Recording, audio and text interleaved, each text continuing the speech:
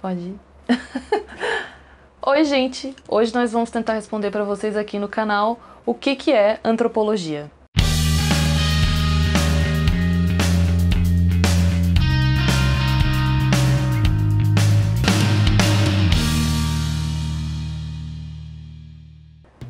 Eu demorei mais ou menos 10 anos entre a minha graduação, meu mestrado e meu doutorado para tentar aprender e tentar entender o que é antropologia. Eu ainda acho que eu estou no caminho, né, me especializando e eu vou ter sempre muito mais para aprender sobre, sobre o conceito, sobre as particularidades da área, mas eu vou tentar mostrar aqui para vocês, falar um pouquinho de uma maneira simples, o que, que é o conceito de antropologia, para que vocês não precisem fazer uma graduação, um mestrado e um doutorado se vocês não quiserem. Então, vamos lá.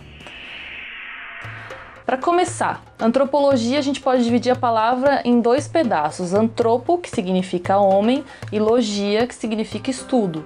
Então, numa tradução literal, seria estudo do homem ou estudo da humanidade. Sempre vale lembrar que o homem aqui não é o homem, o homem, né, o sexo masculino, é humanidade, o conceito de humanidade que a antropologia se debruça. A antropologia ela pode ser dividida, na maneira clássica, em duas correntes: a antropologia biológica ou física e a antropologia cultural. Para entender o conceito de cultura, vocês podem ler esse livro, que é fácil de achar nas livrarias ou mesmo em PDF na internet ou vocês podem assistir o próximo vídeo do canal, onde eu vou falar um pouquinho sobre ele e sobre os conceitos do autor. Já na divisão norte-americana, seriam quatro tipos de antropologia. A antropologia cultural, aquela que se debruça sobre as questões dos sistemas simbólicos, como a religião, o comportamento. A linguística, que estuda a produção da fala e da, da comunicação entre povos, a antropologia física ou biológica, que estuda os aspectos genéticos da humanidade, e a arqueologia,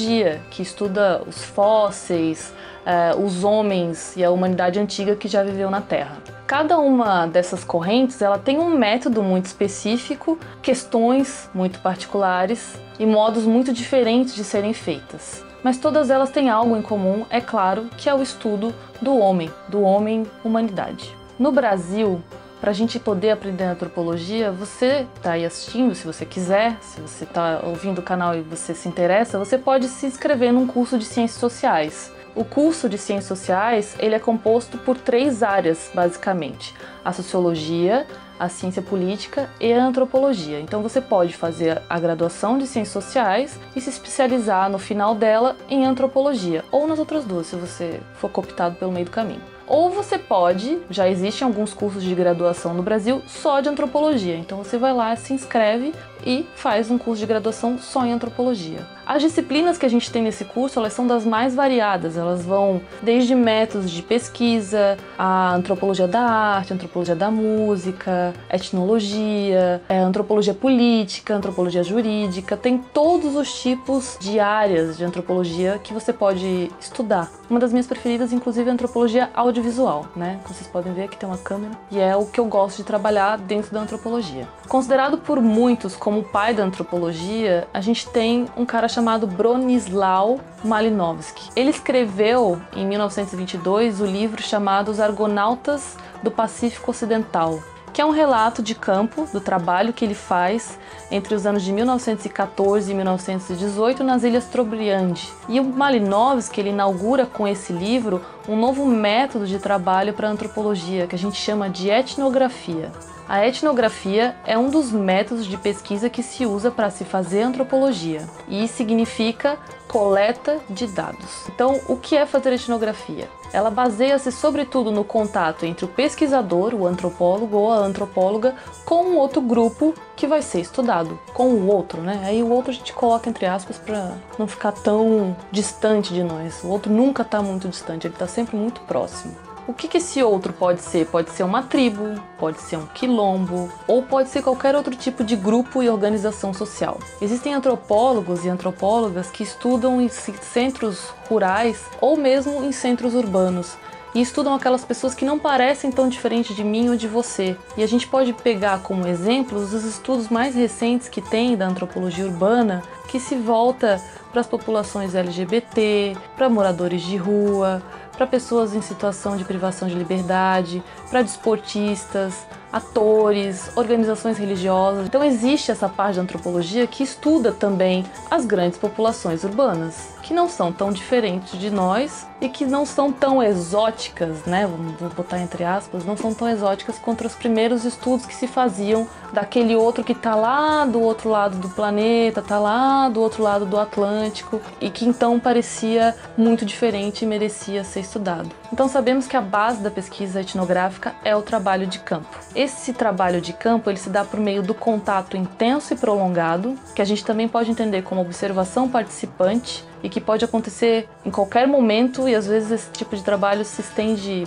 por mais de um ano entre o pesquisador e as pessoas que o pesquisador escolheu pesquisar, estudar, conviver. Então tem muito caso de, de pesquisadores antropólogos que vão, por exemplo, se deslocomovem né, dos grandes centros de estudos e vão até populações indígenas na Amazônia ou vão viver com quilombolas por um tempo e aprendem todo aquele conjunto cultural daquela população nova. Ou temos os antropólogos que ficam nas cidades estudando, por exemplo, no meu caso, os esportistas, mas que eu convivi com essas atletas por um período bem longo também, de ir para treino, de ir para campeonato. Então, o trabalho do antropólogo, o trabalho de campo, é estar em contato com essa pessoa que parece diferente, que é super diferente, e pode ser mesmo super diferente, e trazer essa diferença para o leitor, né? Trazer essa diferença e transformar isso num fazer científico. Assim como a humanidade e o desenvolvimento do pensamento, a antropologia mudou muito ao longo dos anos. Mudou nos seus métodos, nos seus objetivos, nos seus enfoques e nos seus paradigmas. Até o século XVIII,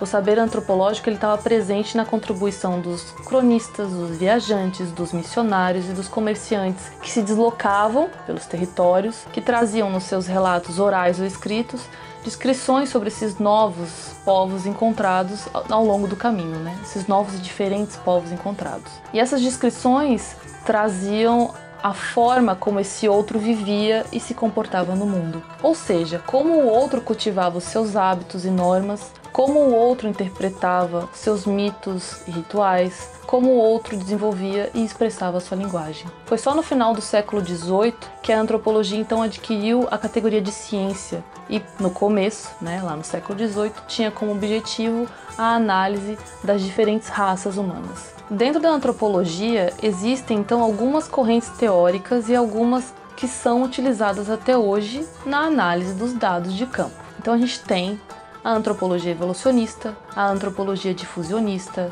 a antropologia francesa, a antropologia funcionalista, a antropologia estrutural, o culturalismo, a escola de cultura e personalidade, a antropologia interpretativa e a antropologia pós-moderna. Sobre cada uma delas a gente vai falar em outros vídeos. Então é isso por hoje, gente. Se vocês gostaram, dá um like aqui no vídeo. Se vocês não querem perder os próximos vídeos do Antropológica, se inscrevam no canal e deixem um comentáriozinho aqui na caixinha de comentários aqui embaixo. Tchau e até a próxima!